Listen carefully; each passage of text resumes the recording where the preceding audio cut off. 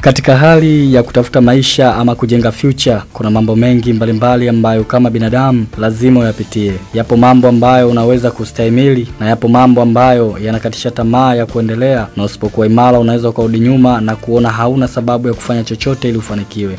Hata katika soka mambo huwa ni hivyo hivyo. Wachezaji mbalimbali wamekuwa wakipitia changamoto za kimaisha za kuwakatisha tamaa, lakini kwa jitihada zao wanapambania maisha yao. Wapo wachezaji wengi, lakini hapa tunamwangalia zaidi mchezaji aliyotamba na timu ya Chelsea ya England na timu ya taifa ya Ivory Coast, Salmon Almanda Magloya Kalu. Huyu alizaliwa mnamo tarehe tano mwezi wa nane mwaka 1985 huko Oume nchini Ivory Coast. Ana urefu wa mita 1.8 sita sawa na futi sita na nchi sifuri. Huyu ni mshambuliaji ambaye anatokea pembeni maarufu kama winga. Safari yake ya soka ilianza katika akademi ya ASEC Mimosa nchini Ivory Coast mwaka elfu mbili ambapo alikaa kwa miaka mitatu kabla ya kutimkia Uholanzi kule alipo na kaka yake Bonaventure Kalou. Alipofika huko alijiunga na klabu ya Feyenoord ya nchini humo kwa miaka mitatu kuanzia msimu elfu mbili na tatu mpaka elfu mbili na sita. Baada ya kucheza katika kiwango safi katika mwaka elfu mbili na tano aliamua kuomba uraia ili acheze katika timu ya taifa ya Uholanzi, na katika kusapoti hilo aliyekuwa meneja wa timu hiyo ya taifa Marco van Basten pamoja na mchezaji pendwa katika taifa hilo Johan Cruyff walisapoti swala hilo. Kalou alihitaji apate uraia ili aweze kucheza katika kombe la dunia ambalo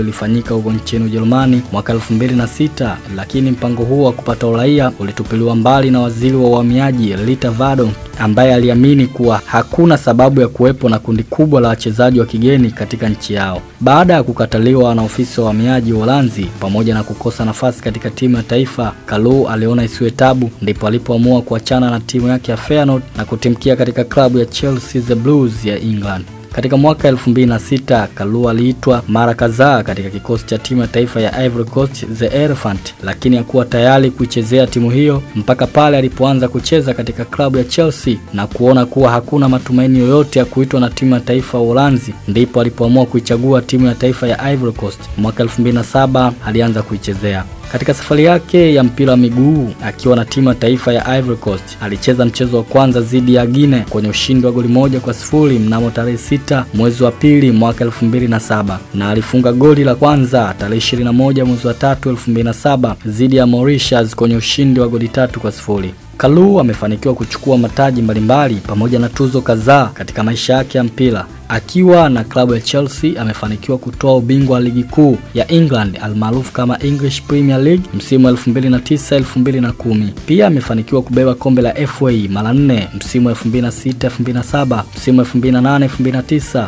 2009 2010 na msimu wa 2011 2012. Pia amefanikiwa kubeba kombe la ligi mara moja msimu wa 2006 2007. Pia amebeba ngao ya jamii mara moja msimu 2009 pamoja na kombe la ligi ya mabingwa barani Ulaya mara moja msimu wa 2011 2012. Katika ngazi ya timu ya taifa Kalou amefanikiwa kuchukua AFCON mara moja mwaka 2015 na katika mafanikio binafsi Kalou amefanikiwa kuchukua tuzo mbili tu mkononi mwake ambazo ni tuzo ya Johan Cruyff ya mwaka 2005 pamoja na tuzo ya mchezaji bora chipkizi katika mashindano ya AFCON mwaka 2008.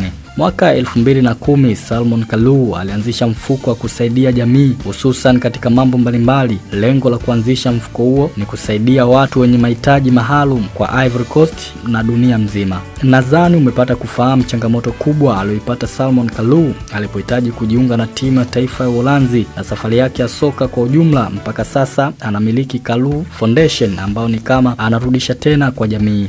Mimi ni Ramazan Mputo, napatikana kwenye Facebook na Instagram kama Ramazan Mputo.